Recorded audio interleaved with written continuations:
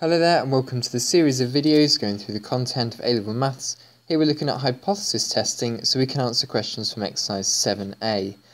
Now in this video what we're going to be looking at is just the definitions and the notation on hypothesis testing and what is a hypothesis test. So uh, this chapter is all going to be about testing statistically whether a statement is true or not. Um, so several definitions we need to know here. A population parameter uh, is, a is a statistical measure relating to the population. Uh, for example, the mean of the population parameter. Um, a hypothesis is uh, a statement made about a population parameter. The null hypothesis is the default position with which we usually take our initial assumption to be true. So for example, uh, if you're rolling a dice and you want to work out the probability of getting a 6, then your null hypothesis is that the probability is one sixth. The alternative hypothesis, maybe the bias might be diest, is uh, tells us about the parameter or the situation if our null hypothesis turns out to be incorrect. So if we think the bias, the, di the dice is biased, then we say that the probability is not equal to a sixth. Uh, if it's biased towards a sixth, then it would be greater than a sixth. If it's biased against a sixth, then the probability would be less than one sixth. Okay, and the test statistic is the observation that we have seen that we're going to test to see if that is statistically um, possible to happen. Okay, so if we've tossed four coins, um, if we toss a coin four times and three heads, then that is our test statistic. That's our observation that we've seen from our given situation um, that we're going to test to see if that is statistically possible to happen. So let's think about a given situation here. Imagine we're rolling a dice and we're recording the number of sixes.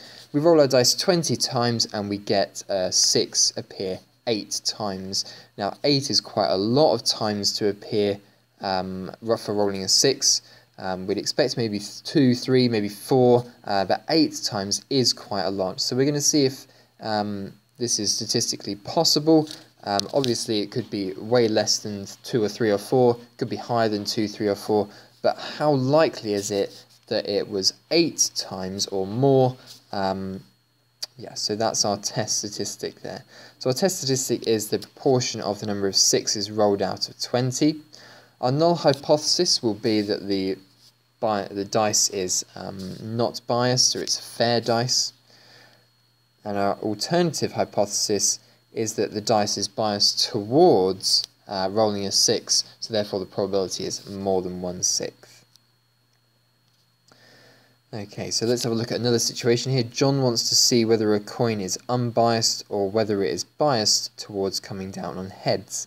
He tosses the coin 8 times and counts the number of times x that it lands heads up. Describe the test statistic, the null hypothesis, and the suitable alternative hypothesis. The test statistic here will be the number or the proportion of heads that come out after 8 tosses.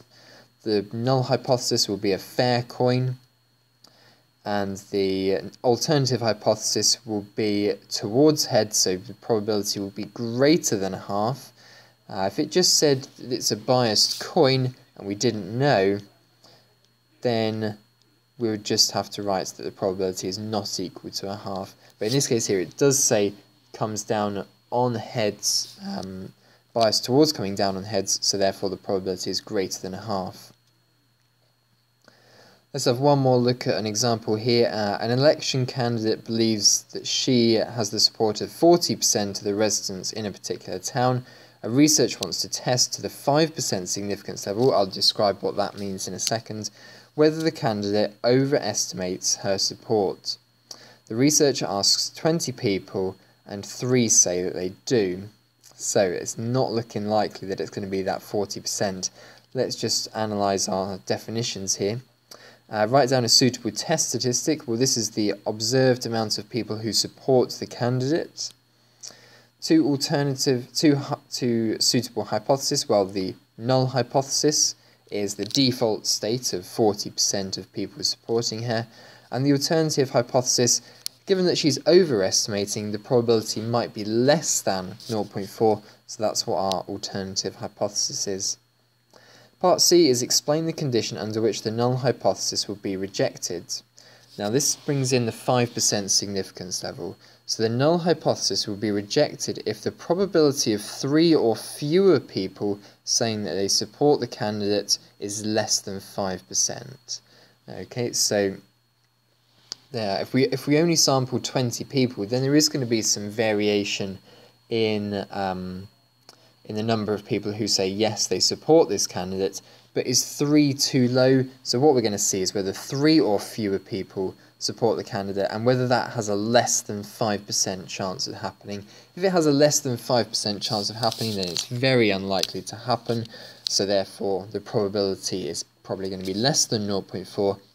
If the probability say 10%, then, then it may just be a, a unlucky um, sample of 20 people that she had here, but we say that 5% generally is the level at which we're going to reject our null hypothesis and we're going to accept the alternative hypothesis. Alright then, so we'll see it more in action mathematically in the next video, but here is your chance to just have a go at uh, a basic question here, defining the three key points of a hypothesis test.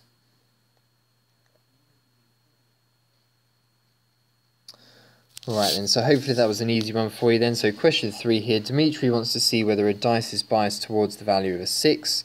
He throws the dice 60 times and counts the number of 6s he gets. Describe the test statistic. So this is the observed amount of 6s out of 60. The null hypothesis here is going to be the default state, so h0 is going to be p equals 0. Point, no, not 0 0.16. And the alternative hypothesis here is going to be, so if he thinks that the dice is biased towards the value of 1 6th, then we're going to assume here that he's looking for the dice to have a probability of greater than 1 6th. Alright then, so thanks very much for watching this video, carry on to the next one and we'll see hypothesis testing in action.